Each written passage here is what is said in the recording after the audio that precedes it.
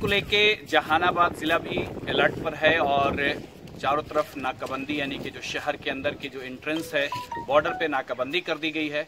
अभी हम जहानाबाद के काको ब्लॉक में मौजूद हैं।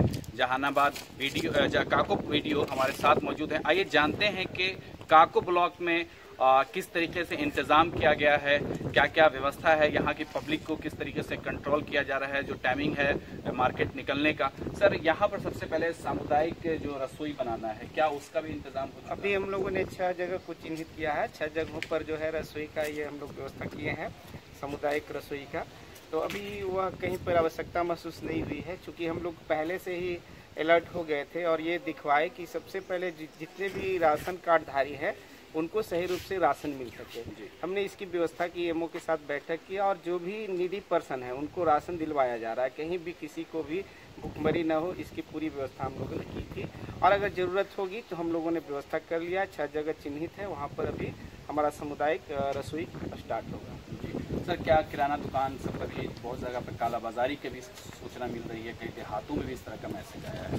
हमने आपूर्ति पदाधिकारी और ये थानाध्यक्ष के साथ में लगातार काकू बाज़ार हो काजी सराय हो या फिर हाटी हो सभी जगह बाज़ारों में जा करके अपने से स्वयं दुकानदारों के यहाँ चेक किया कि कहीं जमाखोरी और मुनाफाखोरी का काम नहीं किया जाए। यह विपता की घड़ी है, सब लोगों से अपील भी हमने किया और हम लोग कानून के साथ में काम भी करने के लिए तैयारी कर रखे हैं कि कोई अगर ऐसी करेंगे तो उनका जो है वस्तु अधिनियम के तहत, आवश्यक वस्तु अधिनियम के तहत कार्रवाई की जाएगी। सर, क्या मेडिकल की टीम की कुछ लोग जो बाहर बाहर से आए हैं, उनके यहाँ जाँच का इस तरह का चल रहा है काबू हाँ यहाँ पर जो है बारह टीम बनी हुई है, बारह मेडिकल टीम है जो कि 24 फोर आवर काम कर रही है। अगर रात हो जाता है तो हम लोग फोर्स के साथ में भी रात को उनको भेजते हैं और वो जा करके जहाँ भी चिन्हित हो रहे हैं या कॉल आ रहा है, हम लोग का कॉल सेंटर बना हुआ है और जहाँ भी ज़रूरत हो रही है, हमारी टीम जा करके और उसको जाँच कर रही है।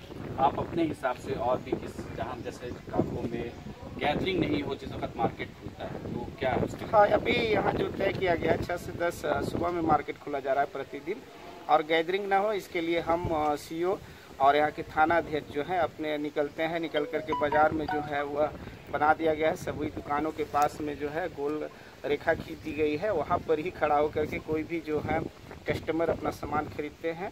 और ज़्यादा गैदरी ना हो इसकी अपील करते हैं। अगर कोई बेवजह रोड पर आते हैं तो उस पर हम लोग कार्रवाई भी करते हैं। सर बहुत से लोग जैसे कि पैसा निकालने के लिए बैंक जाते हैं तो लोग को डर लग रहा है कि पुलिस मारेगा तो आप उनसे क्या मतलब वो लोग डर रहे बहुत ज़्यादा? नहीं हम लोगों ने पहले ये पुलिस के साथ बैठक कर करके थाना अध्यक्ष के साथ बैठक किया है कि जिनको लगता है कि नहीं नीडी पर्सन है किसी काम से जा रहे हैं बैंक के काम से जा रहे हैं या कोई सामान खरीदने जा रहे हैं वैसे आदमियों को छेड़छाड़ नहीं किया जाए और न किसी को दिक्कत हो। बेवजह किसी को परेशानी करने का इरादा हम लोग का नहीं और न होने दे रहे हैं। तो यानी कि इस तरीके से काको ब्लॉक में हर गाँव और काको का जो पूरा एरिया है, उस पर नज़र रखी जा रही है ताकि किसी भी लोगों को कोई दिक्कत ना आए। जहानाबाद से मुशर